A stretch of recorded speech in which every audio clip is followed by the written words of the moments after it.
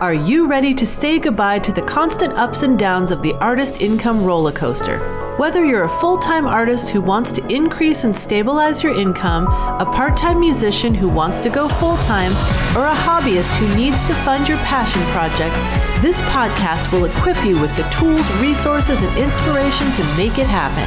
My name is Bree Noble.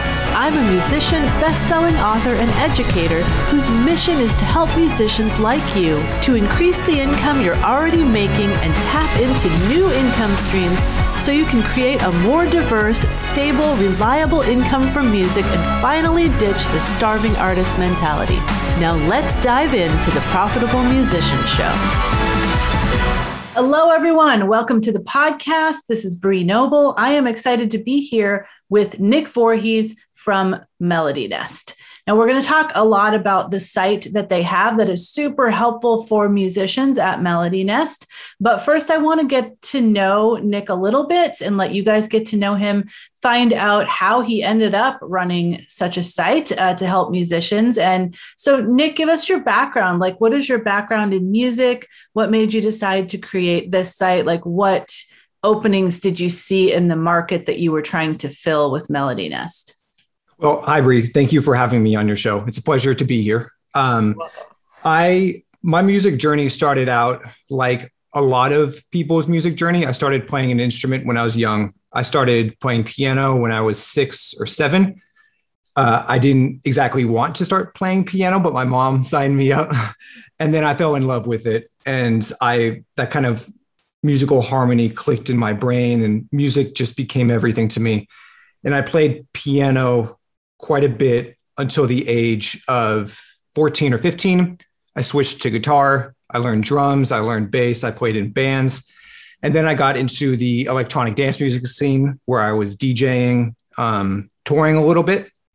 And then after college, I attended Icon Collective Production School in Los Angeles and really started paving my way in the industry and just kind of tapping into new networks, meeting new people. And from there, I was working at a company, and in 2017, I got laid off. And then I remember sitting in a room with friends, and they were talking about how they didn't know where to go for their album art or their cover art.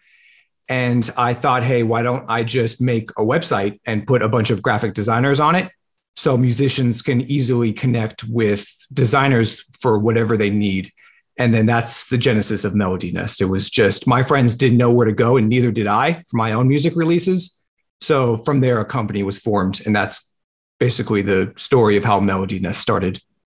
Wow, I love that. That's a very specific problem. And actually, my musicians that I work with, I hear that all the time. They don't know how to create their own album art. They don't want to pay a ton of money, but they mm-hmm. don't think they don't feel confident in what they can create. I know that's me for sure. I don't like to create my own art.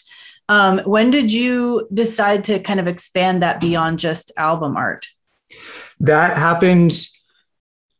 That was early. That was August 2020 when we relaunched Melody Nest with a bunch of other freelancers.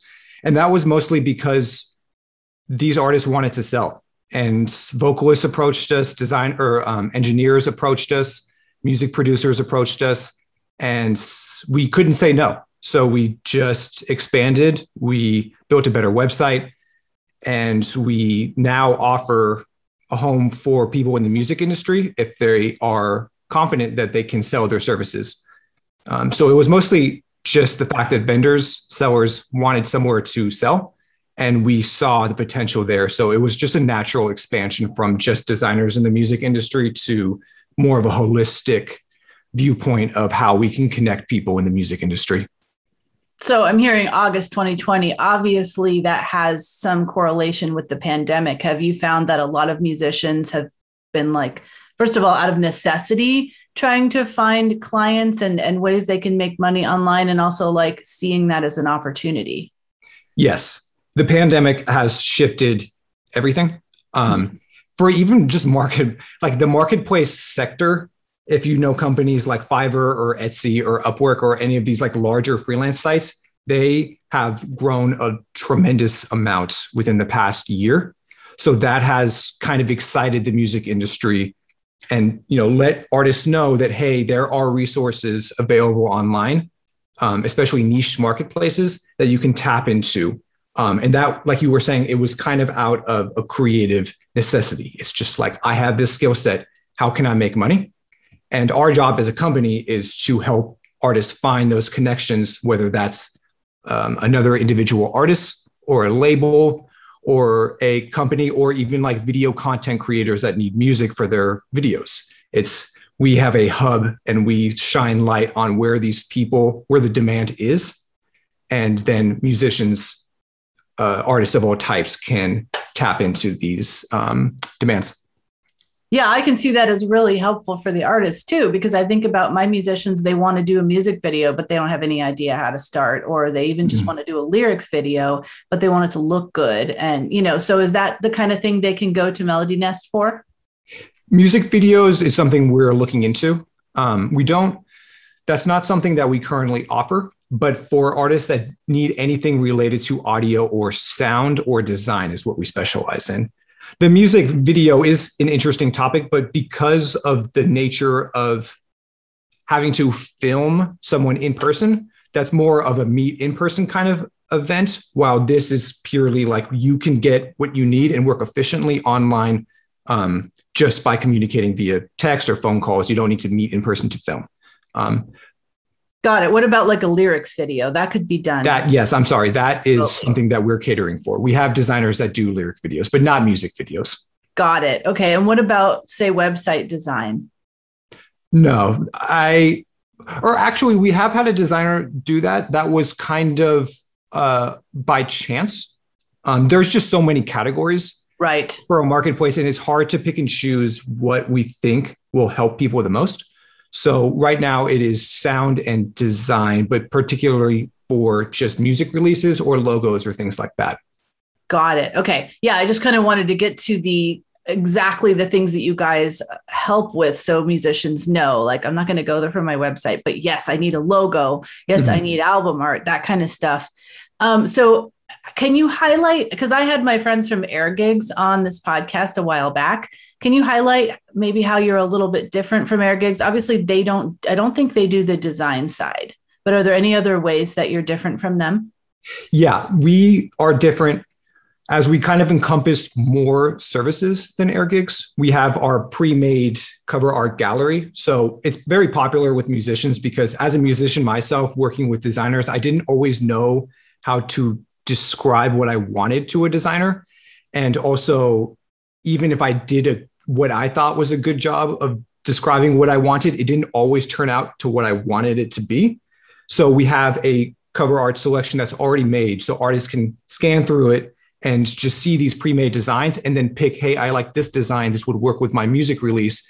And then they can get it within a day or two. Wow. So our, we were different in speed and also, where we're headed right now is we are focusing on creating a better search and discovery process. Um, as we've seen with our own website, is filters only get you so far, and to find the person that you really want to work with. And we think that there's potential, especially in the creative field, to connect people on a deeper level than just pre-made filters on the website.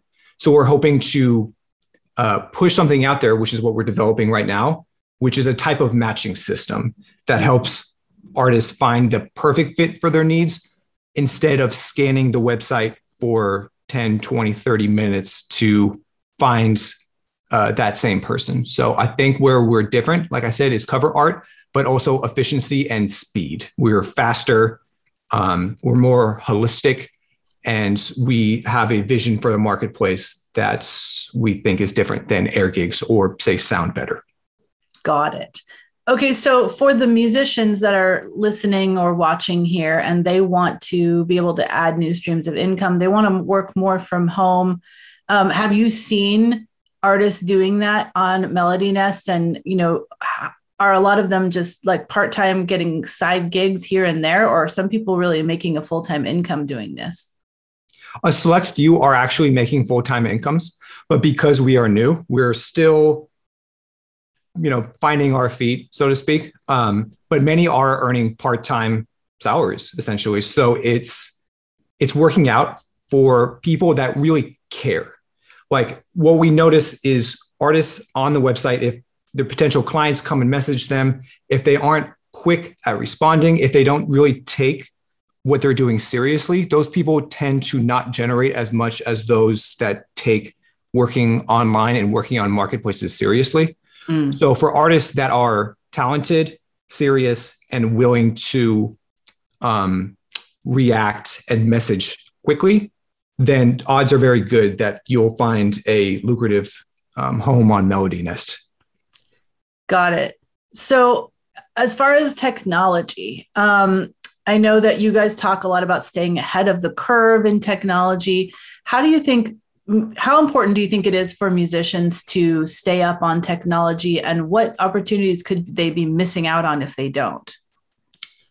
Well, I think it's vital. I think something that we've seen in the music industry is that things are very fragmented still. A lot of connections are made because of people that you know.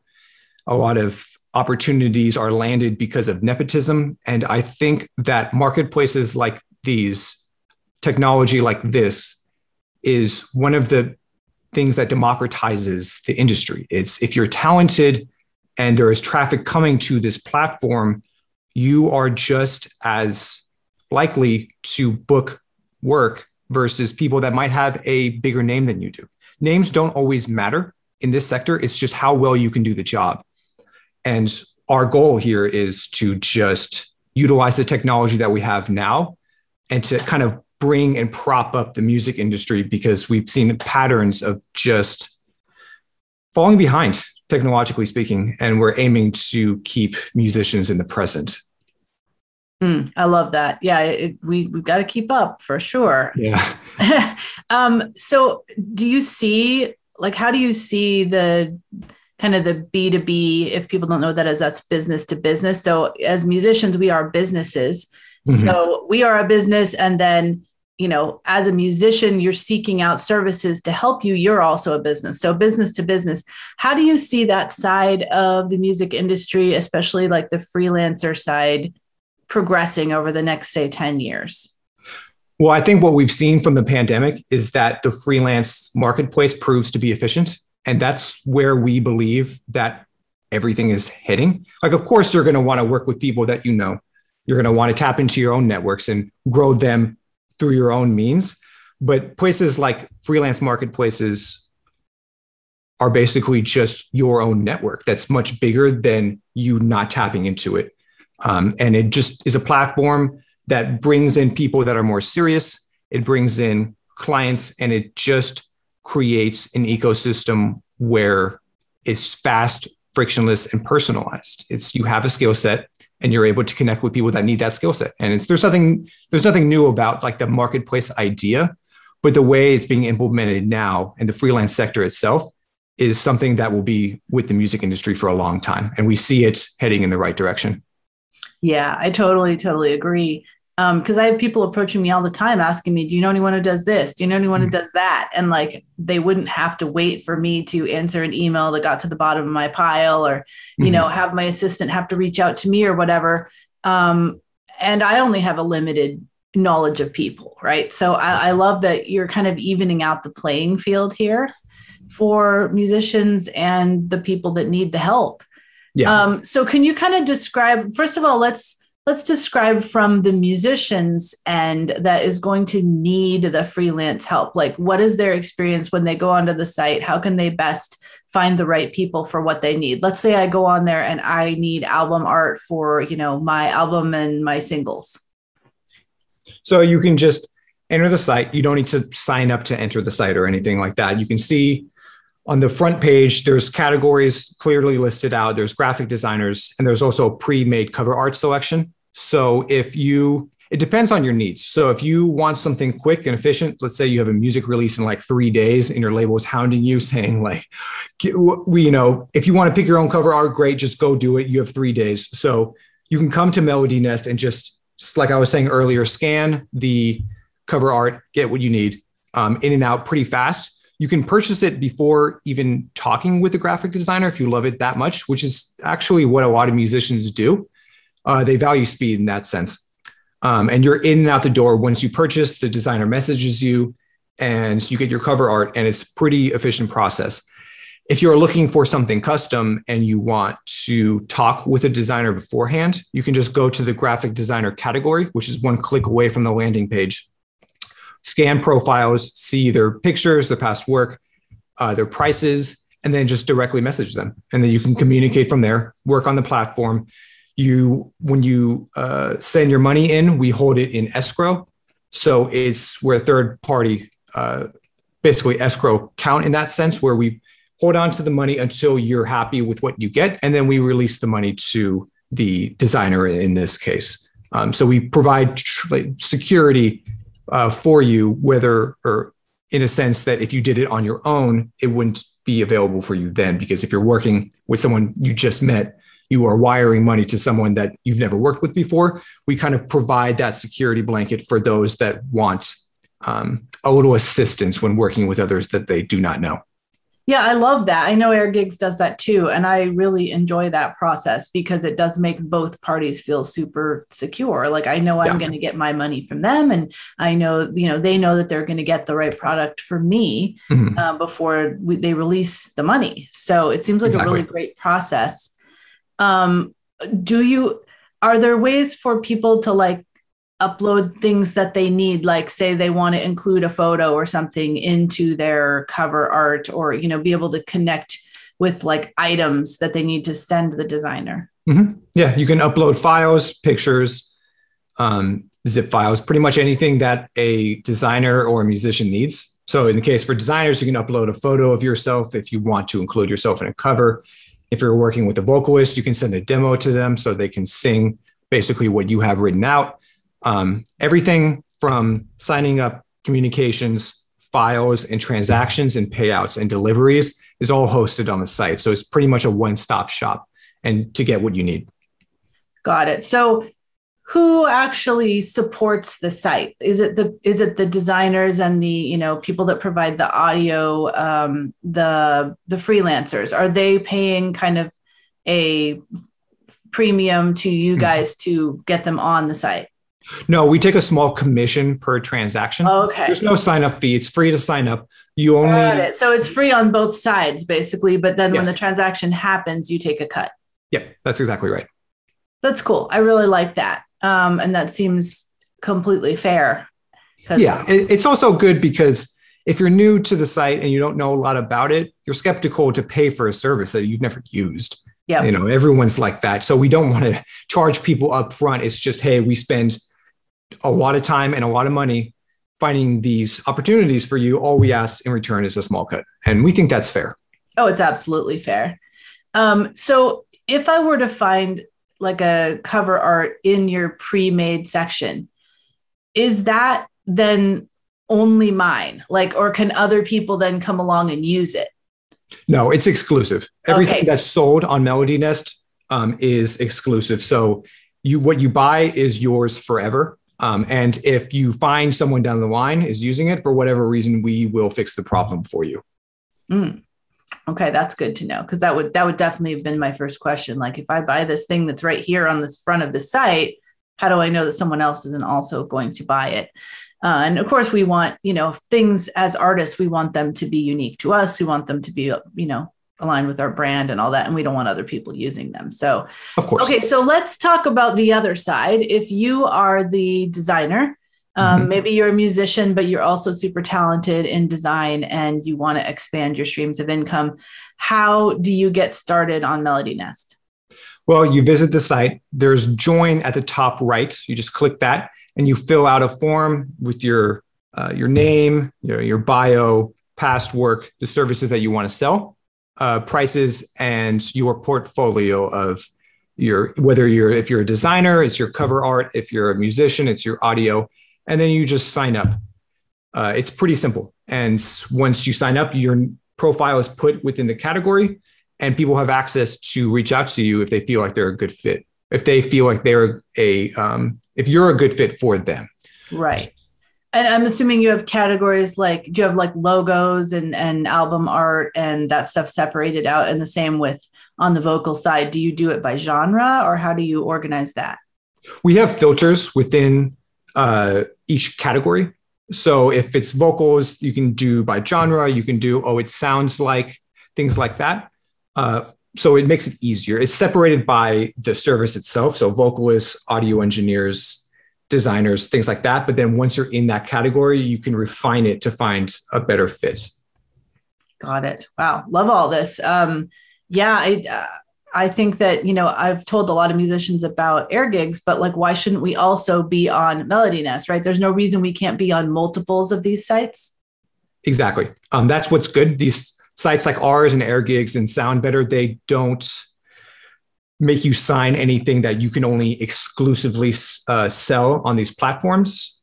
Uh, you're able to jump from platform to platform. Um, but the name of the game, especially for us, is who can make this service uh, as the most efficient. So it's important, like you were saying earlier about technological adoption and keeping ahead of the trend. It's important for musicians to watch how these companies are performing and selling and to make sure that they are paying attention to the one that's doing it the best. So it's a mutually beneficial relationship. Yeah, and I'm sure the technology, the matching technology is going to be huge. We think so. I mean, I've, I've, worked with other companies that do similar matching kind of things for other services, and it's mm. amazing what they do. You know, these the, the thing that they've built really does bring in bring the right people together. So I think that's an important thing that you guys are doing. We think so too, but I'm I'm happy that you agree. well, is there anything I haven't covered that musicians uh, need to know about Melody Nest before they go check it out? We've covered a lot. I think that there's a bunch of things that I could say, but I think the best way to do it is just visit the website and kind of see how these people build out their profiles, see if this is a good company that uh, if this is a good company for you if you're interested in selling your services. We have a direct messaging system right on the platform. So if you have any questions, we can uh, respond to whatever inquiries you might have. Um, and it's like we said earlier, it's free to sign up. So we are uh, a good source for musicians and a lot of artists that are looking to expand their networks and grow their careers. So we are an open book when it comes to hosting sellers. So I think the, like I said earlier, the best way is just to visit Melody Nest and just get started.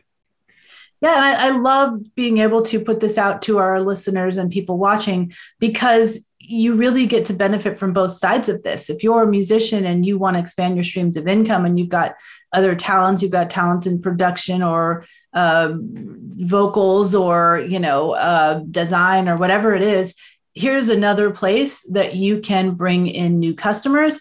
But if you're musicians and you are working on an album or you need a logo or any of that, or you need, you're producing something from home, but you don't have the right person to do you know this backup vocal or this instrument or whatever this is a great resource as well. So we've killed two birds with one stone with this one. So thank you very much nick.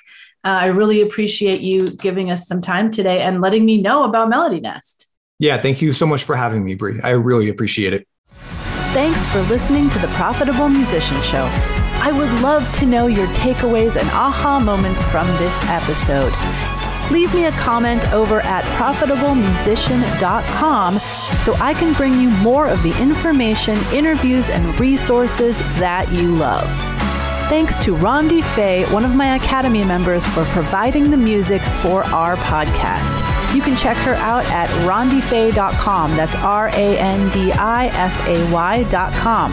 Just remember, knowledge is power, but without implementation, it is useless.